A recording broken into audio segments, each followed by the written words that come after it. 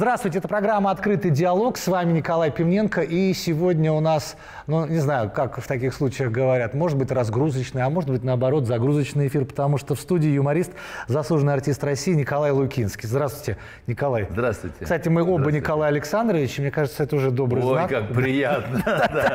Да, Вот. полного тезку Да. да. А, Николай, скажите, а, вот э, обычно, общаясь со многими представителями, ну, как раньше говорили, вашего цеха, Так. А, ну, на сцене яркость, талант сверкает, да, у всех, а в жизни часто человек довольно скромен, тих. А вот вы какой в жизни? И на сцене талант сверкает. И в жизни. сверкает талант. И скромен, конечно, необычайно. Ну, это помогает. Но вы знаете, вот такой оптимизм э, с детства по жизни, э, такой легкий характер. Родители были такие, бабушка такая была, которая, которая на руках я вырос. Поэтому обо обо мне так не скажут, что в жизни смурняк. Да сразу Нет, выключилась я- камера, я- сразу. Я утром просыпаюсь в хорошем настроении. Если, конечно, ничего там э, такого не, не произошло, то как бы нормальное мое состояние – это хорошее настроение. И этот оптимизм, а, так получилось, что вы делитесь этим оптими- оптимизмом со всеми остальными. Ну, работа Это стала ваша профессия. Работа такая, да. Мгм. Ну, мы сейчас об этом поговорим, но э, прежде всего должен сказать, что все-таки Люберцы, Малаховка для вас это такое очень важное место, тем более, что вы сейчас поймете, в нескольких ипостасях здесь э, Николай Лукинский представлен. Конечно, уже поговорим о его творческом пути, но прежде всего вопрос, вы сейчас э, живете в Люберцах, можно сказать, Ну, в? Люберецком районе, да, в Малаховке. Вот. Давно попали? Вы же сами оттуда, издалека, из Ну, я, я оказался в Жулебино в 95-м году. В Да, 90-е, вот те 95-м самые. году. Да. Да. И мы э, снимали, э, год снимали квартиру в Кузьминках. Это был вот мой приезд То есть уже поближе? Да.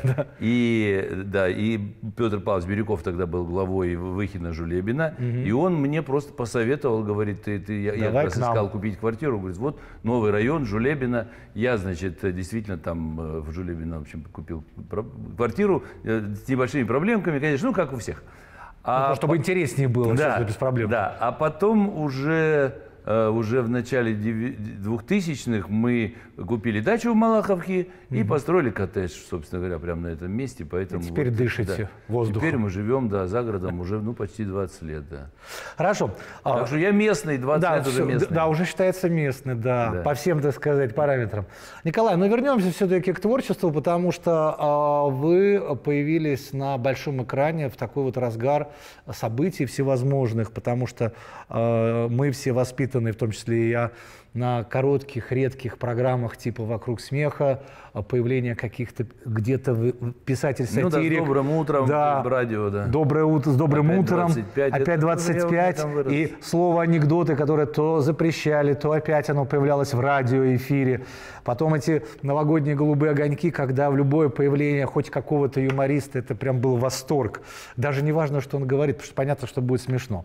Потом э, появляется проект, в котором э, вы тоже принимали участие, но все начиналось, я так понимаю, с Лены Измайлова. Да, да, с Леной Измайловой. Как вообще, пап, как вот рискнул человек И, заявить же, о себе? природная скромность. э, С большим трудом нашел телефон Леона Моисеевича. Так. И э, дозвонился до него. Э, Сейчас скажу. Как раз это 90... Еще жил в Смоленске я тогда. Я из Новосибирска переехал в Смоленск, так я туда-сюда ездил. Побросал несколько, его. несколько раз, да. И вот я, живя в Смоленске в 91 году, я э, дозвонился до Леона Измайлова. Он говорит, ну давай приезжай, я, я тебя посмотрю, э, концерт, э, концертный комплекс Измайлова. Да, и Измайлов такой- и Измайлов, всё пригласил меня в совпало. Измайлово, поэтому легко запомнить, где были мои первые московские концерты. Я приехал 31 мая и 1 июня были концерты. Тоже легко запомнить. Да. То есть Я- лето вашей жизни, можно сказать, да? Начало, начало лета. Конец весны, начало лета. И принял участие в концерте, причем это был огромный, ну, Измайлов, представляете себе Да, зал? да. Да. Ну, там, ну, наверное, несколько тысяч было. Ну, там, не скажу несколько, но полторы-две тысячи зрителей точно было, потому что как-то там не, не весь, весь комплекс, а так одна трибуна или полторы трибуны. И Леон Моисеевич говорит, Колька, я опоздаю. Нет, когда еще у меня там Коля называл. Коля, я опоздаю, значит, ты придешь, э, выступишь, а потом мне расскажут все. Думаю, ё-моё, опять, ну, облом Ради да. него, да, Да, ради него, да. да. И я при, приехал, а после меня шли, ну, уже там на то время, конечно, известные артисты, Леонид Натапов, э, Вадим Добужский, в общем, э, артисты там театра Леона Измайлова, театра юмора «Плюс» он назывался. «Плюс» — это профессиональные любители юмора и сатиры. Все. И я выходил на сцену или вторым, или третьим, в общем, в самом начале, там шла музыкальная группа под названием «Гафт компания». Ну, к Валентину Гафту это не имеет отношения, тоже так Ну, называлось. название красивое, да. И я вышел, а так как я-то был из провинции, артист провинциальный, своего репертуара у меня, естественно, не было. У меня было нахватано из всяких книжек, сборников, там, не знаю, записей каких-то. И я вышел, короче, и свою программу там, ну, минут на 10, наверное, выдал. Ага. И все, кто шли за мной, половина реприз у каждого, значит, было это в репертуаре. И, конечно, они меня, мягко говоря, не взлюбили. И тут приезжает Леон Измайлов в середине концерта. У них вот такие глаза. Леон кого-то нам подсунул. Он наш репертуар весь выдал. Леон начал хохотать, знаешь, надо отдать должное никаких. Ай, май, молодец, вот выкручивайтесь теперь. И все. И он смотрел меня в гримерке. Уже как бы, ну, ему сказали, что успех был, конечно, но как бы... То есть хлопали. Да, хлопали, да. Вот. И, да, ну, типа репризы по- потырил у нас. Ну, я не умышленно. Я не знал, что у у кого-то это тоже в репертуаре. Э, И он меня послушал и, и, и пригласил работать в театр, в общем, так коротко я скажу. И я, я думаю, чем я его тогда, ну, скажем так, очаровал. Я, там, пародия на Горбачева была Ну да, время, самая вообще популярная 91 год. Самое, что я ему показал, как Горбачева пародирует Миша Евдокимов. То есть двойная пародия. Двойная пародия, да, как, да, Ва- в- Винокур, там, э, Грушевский, ну, в общем, вот такой сбор. И он, э, ему понравилось, в общем, он меня пригласил в театр, и я начал ездить из Смоленска на концерты в Москву, ночной поезд, потом день где-то я тут э, ку- кувыркаюсь, как говорится, вечером концерт, ночной поезд, обратно в Смоленск, это продолжалось 4 года, вот до моего переезда уже в Москву, в Кузьминки. Так что так пришлось помыкаться, но э, э, Но ведь тяга это, и, да. э, это же э, прекрасно, когда у человека есть желание, ведь можно э, со своим талантом, что называется, так и просидеть, и потом а, мечтать где-то, думать, а вот можно было бы попробовать, знаете, так лет в 70, а вы сразу начали, и Ну, понятно... не сразу, далеко не сразу. Ну, уже я за- имею в виду, до 30 этого, было. до этого Да. у вас уже был задел и так далее. Но... Я до этого уже закончил технический вуз. Уже Да, я вот было- хотел об этом спросить, Да. потому что вот эта история э, эти, э, физики и лирики, она вас тоже как бы не минула, да? Вы пошли учиться, потому что нужно было или прям хотели Я вообще туда? поступил в Новосибирский водный институт Да. инженеров водного транспорта. То есть- Я занимался боксом. И самый простой способ был поступить в водники был бокс развит. Ага. Учился я так себе, мягко говоря. Я с шестого класса боксер, все, Понятно. чемпион там Сибири Дальнего Востока. Это там по юношам, по молодежи. диплом-то есть? Э, Сейчас, сейчас до диплома еще надо. Далеко, я поступил на первый курс в институт. Но так как я был с первого класса влюблен в одноклассницу, мою теперешнюю жену, то когда я поступил на первый курс, ее родители переехали, решили переезжать в Смоленск, ее увозят. А как же И вы я- без нее? Да, а я без нее никак. Я поэтому до... э, Это было на зимней сессии, они переехали. Я говорю, я закончу первый курс, и я буду переводиться там в какой-нибудь Смоленский институт. И письма каждый день, и я, значит, заканчиваю первый курс, беру перевод, причем перевод мне не дают, пришлось отчислиться, ехать в Смоленский филиал МИИ э, восстанавливаться, э, и ну и живу в общежитии. В общем, вот так все, вот любовь меня там. Все, потом я благополучно мои закончил. Характер у меня такой, что если я за что-то берусь, я должен до конца. обязательно это довести до... И потом я понимал, ну раз ты любишь, тебе надо жениться, значит, у тебя должна быть профессия, ты уже в институте учишься. И, в общем, так я сам себя держал, при том, что мне было совершенно неинтересно. Бокса в Смоленске уже на таком уровне, можно сказать, не было. И я там довольно быстро с боксом То есть мог закончил. быть спортсмен у нас? Ну, ну, в какой-то степени мог, Мог, да. мог. Мог, наверное, Вот э, вы видите, как э, точно как на концерте Измайлова, фактически Николай украл все мои уже вопросы. То есть когда-то мне Жванецкий сказал, с вами интересно общаться. Я сам себе задаю вопросы, сам на них отвечаю. Вот. Мы обязательно во второй части поговорим о личной жизни. Это же всегда интересно. Тем более, действительно, история с первого класса тянется. Не так много людей, которые... Любовь... Сколько это теперь уже лет? Ой, сейчас тогда уже я скажу главный праздник, который мы отметили с женой 1 сентября. 55 лет, как я в нее влюбился. Вот так. И об этом мы поговорим во второй части. А сейчас давайте о боксе, потому что бокс еще связывает Николая Мы вернемся обязательно уже вот к, к, к эпохе аншлага, вот этого постоянного участия уже в проектах. А, ну а пока бокс. Бокс и люберцы, это тоже у вас теперь, вы здесь у нас не просто так еще находитесь. Тренировки Но, продолжаются. Значит, Вы же участник проекта целого. Король ринга, победитель, я да. так скажу уж не скромно. Что Участник-победитель. Участник-победитель проекта Король ринга. И э, после того, это был 2008 год, а я до этого не очень был связан так с, люберецким, э, с люберецкими боксерами. И тренировался я в проект, к проекту готовился. Так я вообще в бокс не ходил. 30 лет я с тех пор не занимался да, боксом. Что? Вообще, да, да, только по телевизору. И когда меня в проект пригласили, и они дали мне и тренера, и э, зал, где заниматься, это э, институт, э, горный университет московский, ага, это На, Ле, на Ленинском проспекте. И там замечательные тренеры, которые со мной, ну там все участники тренировались, можно сказать. И когда я в этом проекте победил, я понял, что я набрал форму, я, да. мне это интересно. Почему бы не продолжить? Получается, я решил, ну, уже для себя, конечно, продолжить.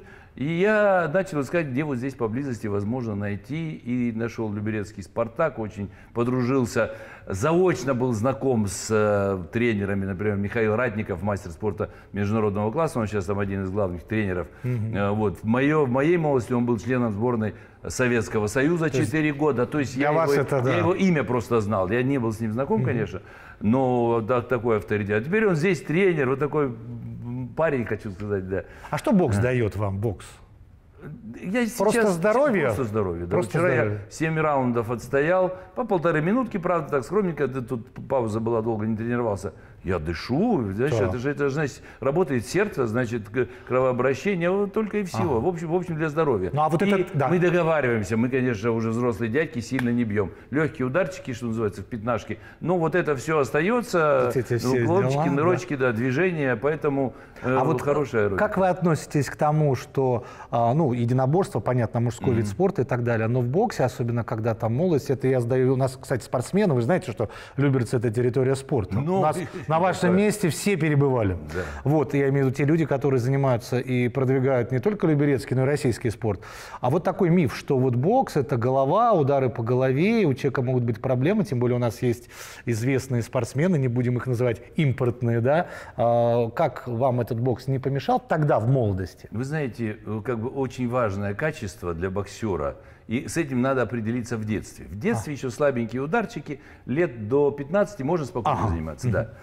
А, а потом уже тренер, ну и родители, тренер, там сам... Э, направят сам бокс... Нет, не, не в том дело, что направят. Они уже определяют, уже говорит, есть у тебя способности, вот эта интуиция, не подставлять голову под удар. То, что главное в боксе – Э, вообще бокс это искусство защиты, не искусство драки или нападения, а искусство Что защиты. Англичане когда-то создали. Вот главное, чему учит бокс, это на уровне интуиции убирать голову с линии удара угу. за долю секунд предсказывать. Это на самом деле талант. И я скажу без ложной скромности, мой тренер мне говорил, что у меня этот талант есть. Он всегда приводил меня в пример моим ровесникам. Он говорит, берите с Лукинского пример, не подставлять голову под удар. Вот как бы... Вот, вот какая так, хорошая концовка для первой, для первой да. части. Не, не подставляйте что, Да, и туда. тогда можно до бесконечности заниматься, угу. да. А если нет этого таланта, то лучше остановиться, потому что дальше, после 16 лет, уже ударчики тяжелые. Вот мы теперь выяснили, для чего люди занимаются боксом. Сейчас сделаем небольшую паузу. У нас в студии юморист, заслуженный артист России Николай Лукинский. Как мы обещали, во второй части обязательно будет и немножко о личной жизни. Напомню, что это программа «Открытый диалог». У нас в студии Мария, заслуженный артист России Николай Лукинский, житель городского округа Люберцы, можно так смело сказать. Мы завершили первую часть фразой, что нужно уметь а, не подставлять голову под удар, наверное, это и на жизнь можно перенести. Это да? не только к боксерам. Да, не только к боксерам. И мы увидим, что благодаря вот этой гибкости человеческой, да, вам удается до сих пор быть не только в строю, но и а, быть э, человеком, который и для семьи, и для зрителей является ну, таким э, авторитетом.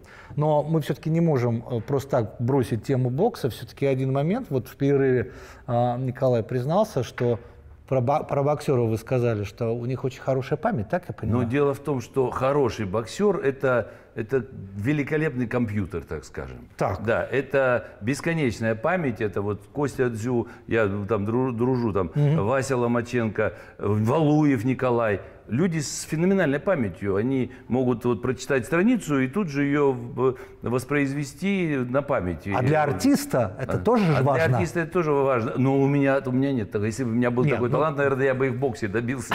Да, гораздо большего. Вечером э, значит, на концерте, а с утра бокс. И так вот как раз две Ну, профессии. Я так да? и живу сейчас. Понятно. А, ну, живу. теперь немножко продолжим вашу историю. Все-таки вот перед нами инженер, настоящий инженер. А, Я знакомился немножко с тем, что пишет, так сказать, интернет про вас. Всегда интересно, а потом лично узнать. Там чуть ли не э, пишется так, что вы пытались браться за любые профессии. Это было связано с заработками или просто искали себя до того, как? Чуть ли не дворником работали. Дворником работал, да. Сейчас и- это уважение же, вы понимаете. Наверняка. Тогда я жутко этого стеснялся, но подрабатывал. Но это с детства. Там семья бедная была, мама с папой все время брали подработку, а мы с братом ходили подметали. Брат Там- у вас? Да, старший брат, да. Вот. И мы ходили подметали, и сейчас вот э, э, осень и листопад, и для меня эти листья, знаете, это ну, мне такое напоминание о том трудном детстве, когда я э, подметаю и вижу, идет девушка, я прятался за дерево, потому что жутко стеснялся. Знакомый, незнакомый, неважно. Да. Потом уже студентом я работал дворником уже в открытую, там уже надо было зарабатывать деньги, потом женился на, на третьем курсе, и вообще как бы это было важно для стипендия, стройотряд летом, а зимой, помимо стипендии, еще подработочка 40 рублей э, до полставки я еще получал как дворник практически всю учебу. вы вот в Смоленске. работоголик. Работоголик. Ну, не, не, не скажу. Не скажу, что я сильно... Но вот когда э, артистическая деятельность, э, деятельность, как вы говорите, юмориста, хотя мне кажется, что такое более обширное да, понятие, когда вы почувствовали, что я звезда. Во-пер- Во-первых, я до сих пор этого не чувствую и, и- не хочу. Хорошо, давайте по-другому задам вопрос. Когда вы подумали о том, что кто-то посчитал, что вы звезда, вот так будет. Скромно задаю вопрос. Как, Слушайте, какой к, это счастью, был? к счастью, не, не, не думаю я об этом. Не- не- А ведь да, не- узнают же. не- Был же такой период, когда э, очень часто Да по не- всем да, каналам. ну, узнают. И сегодня я там ходил в Люберецкий водоканал оплачивать воду. О, Охранник меня обнял, оплатить. сказал, я вас очень люблю. Я сказал, у вас хороший вкус. Да. Э, Просто, э, ну, ну, это часть профессии, и, ну, конечно, приятно, там, когда узнают, там, автографы берут, фотографируются, сейчас чаще фотографироваться Ну да. просят. Но, в общем, э, не, не стоит по этому поводу зацикливаться или как-то еще. Ну, конечно, когда у меня появился чернокожий герой, да, вот, наверное, тогда я, я, я почувствовал, что там появились гастроли, что люди даже точно не знали э, фамилию артиста, но знали, что Смешной, с Новым смешной, годом пошел нафиг, да, и увидели на афише этот портрет и шли на концерт. Вот как бы это, это начало, конец 90-х, начало 2000-х. Но у вас получается два чернокожих героя теперь. Один вымышленный, один Больше. настоящий. Теперь Гораздо больше уже. Кстати, да, больше, да, больше в уже, да. курсе, да? Вот мы, сейчас кто-то удивился, а дело в том, что мы переходим вот к личной страничке, и когда я тоже, опять же, знакомился с личным делом, Так. а, я обратил внимание, что да, вот с первого класса, 55 лет, вы со своей супругой, и как, а как отмечали, кстати? Вы цветы Да, купили? ну, или что? обязательно цветы. пошли Какие у нее любимые цветы? Розы, я, я всегда дарю розы. Розы. Да, иногда красные, иногда белые. Ну, в общем, ну, ка- иногда какие есть. Ну, понятно, Да, да. я- да, мы как-то любим розы. Да, и м, 1 сентября, но это 50 лет как влюбился. Ага. Женаты там и 42 года, с 80-го года. Ну, непонятно, да, что я, мне 55 лет быть женатым, я еще слишком молод для этого. Да, а да, там да. мне было, нам было по 7 лет. Я увидел девочку, все читали по слогам в классе, учительница проверяла. Ага. Первый день, первый урок. Кто как читает, Нина Ивановна Кастинг, проверяла. кастинг своеобразный, да. И вот это монотонное, это вот по ушам П, Р, М, это все, я также читал. И вдруг как будто вот свет включили, Ага. как будто, я не знаю, вода побежала, как будто, в общем, вот такой голосок, и как взрослая бегла, ну, понимаете, контраст такой со всеми остальными. Я раз посмотрел, и все. И попал на всю жизнь. Влюбился, прям вот, не стесняясь, говорю. Вот, А при- она как? Она быстро мне ответила взаимностью Да? в 10 классе. Ага. Да, то есть, в общем... я- Как мы- поется в песне мы- «Первое хочу, первое нельзя», да? Мы, мы сибиряки очень терпеливые, я, в общем, даже... Конечно, там были у меня девочки, с кем-то там я пытался дружить. Она не отвечала взаимностью. Ну да, а потом, было- как только сразу... А я уже боксер, я с шестого класса боксер. Я, ухажеров было много, потому что она была самая Ага. красивая в школе. И всех пришлось, конечно, мне разгонять уже. Но когда она ответила взаимностью, Ну понятно. да, уже все, моя. Да, моя, да, моя, да. да, да, да. Вот. Ну вот, к счастью, да, к счастью, 5 апреля было 42 года со дня нашей свадьбы. Ну, Вот Две видите, дочери, человек, который... внука. Сейчас, сейчас правда, про дочерей поговорим. Человек, который помнит а, не только, а, когда познакомились, да еще, еще день свадьбы. Это, конечно, дорогого стоит. Сейчас, наверное, женщины растаяли А от что, удовольствия. не помнит Ой, вы знаете, такой? да. Не да, день есть, да, да. ничего себе. А, про дочерей поговорим, потому что первая дочка у вас там в районе 20 да, лет появилась, э, что-то такое. 21 год, да. 21 год. Вот. А потом вторая дочка, и э, младшенькая быстрее стала э, Мамой, да, мамой, да, да, да. и начали вам приносить вот такие вот Внуков. замечательные, да, человеческие подарки. Как сейчас обстоят дела, чем дочки занимаются, что у вас семей, на семейном, так сказать, направлении? Да, ну, это старшая дочь у нас, э, ну, она замужем за африканцем, и она живет в Барселоне. Она там поехала туда учиться, потом вышла замуж, там осталась там работать. Есть где остановиться, правда? Ну, в общем, да. Есть хотя бы куда съездить, да. А младшая здесь, в Москве, с нами живет со старшим внуком. Младшая дочь, она айтишник, она... То есть у вас две дочери и два внука. То есть мальчуковая прису- бокс как присутствует? Вот сейчас старший внук пошел в бокс. Да, ну буквально была, ну, две тренировки, так скажем. Вот. И как? Ну, вы как-то посмотрели уже? Ну, я, во-первых, конечно, это была моя инициатива, Ага. но я на тренировке с ним не был, но э, пойду, наверное, вот в пятницу у меня получится с ним пойти на тренировку, ну, просто хочу посмотреть. Да, возможно, знаете, как это...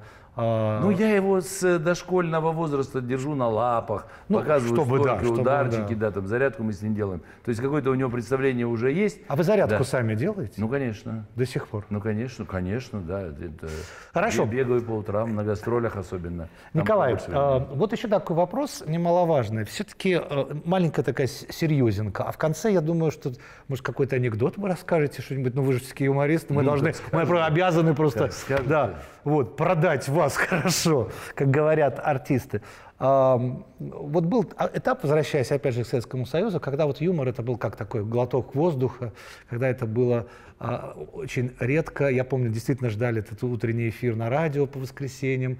Была программа а, утренняя, где там анекдоты, опять 25 и так далее тому подобное. Потом появились вот аншлаг вокруг а, смеха, вокруг смеха чуть раньше. А потом, когда а, наступили 90-е годы, появилось огромное количество программ, и стало складываться ощущение, что когда много юмора, то уровень его интеллектуальности начал, ну, на мой взгляд, стремительно, если не падать, то чуть-чуть опускаться все ниже и ниже. Вот как вы сегодня оцениваете? Вообще есть какие-то градации у юмора? Или это все зависит от каждого человека, который выходит на сцену и смешит публику? Ведь у нас есть и стендаперы, есть, так Да, скажем, да, традиционные да, и юмористы. Успешные, да.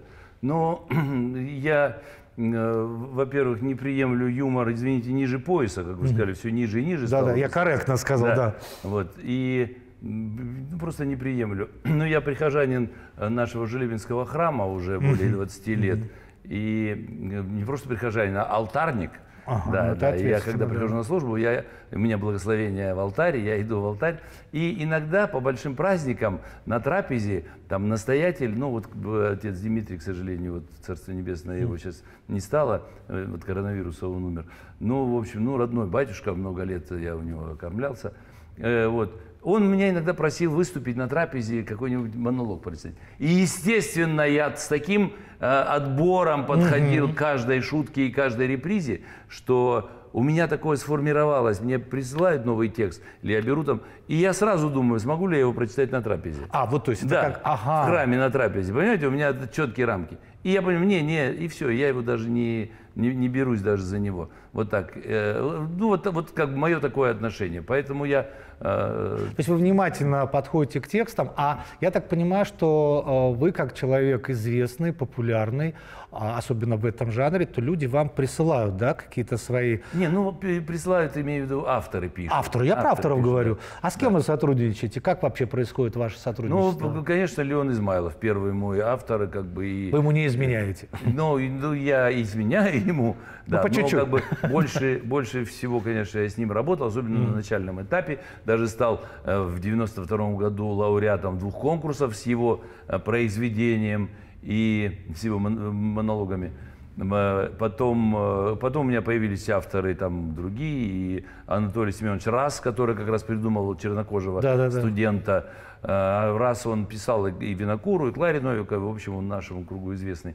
С Ефимом Смолиным сотрудничали плотно мы, Леша Цапик, Юра Софин, вот Сейчас Борис Шварцман там пишет мне номера. Андрей Новиченко. Может быть, в финале что-нибудь вот из репертуара в таком вот э, э, жанре вашем? Хорошо. Э, с удовольствием. Я постараюсь объединить в этой истории и, и бокс, и, и внука, и юмор. Давайте. Да. Пришел я на тренировку по боксу. Здесь, в Люберцах, мы тренируемся иногда в «Спартаке», иногда в «Орбите». Это торговый центр «Орбита», там есть зал бокса. Я взял с собой внука. Ему было лет, наверное, 6. А, и, а у боксеров капа, да, знаете, это резиночка на зубы. Я капу в рот вставил. А, Алеша увидел коробочку для капы, она такая необычной формы, а? такой форме челюсти, такая. Э, э, и деда подари. Забирает, ну что ж, ребенок, да. И он этой коробочкой всю тренировку играет, а мы, значит, боксируем там э, один, два, три раунда, там, не знаю, всю тренировку. А он, он не тренировался тогда, сидел. Потом душ, потом спускаемся там в кафе, значит, и там такой же маленький мальчик, как Леша, с молодой мамой. И Леша сразу начал коробочкой это хвастаться, а мне некуда деваться. Я вокруг мамы, мамы говорю, вот там чай, кофе. Она говорит, какой у вас сынок? Я говорю, это внук. Она говорит, какой молодой дедушка? Я говорю, да, я рано начал. Такой, выпендрюсь немножечко. И тут по ее глазам я вижу, она впервые в жизни видит коробочку для капы. Не понимает, что это такое. Удивленная такая, там и пацан этот смотрит. А она так, говорит, Леша, она уже узнала, что Леша, Леша, а что это у тебя за коробочка? И Леша так хвастливо для дедушкиных зубов. Все, все кадреж все, окончен. Все, да, да. Зал, Всего доброго, да? Зал дедушку, да. А, Николай Лукинский, житель городского округа Люберцы, а, человек, который известен не только в Российской Федерации, но далеко за ее пределами, юморист, заслуженный артист России, а, человек, который любит одну женщину на протяжении, в хорошем смысле слова, страшно сказать, сколько лет. Мы желаем вам, вашей семье всего самого доброго и приходите к нам еще. Спасибо, очень приятно. Это была программа «Открытый диалог». С вами был Николай Пивненко. До свидания. Николай Александрович Пивненко и Николай Александрович Лукин. Два Николая Александровича прощаются с вами. Счастливо.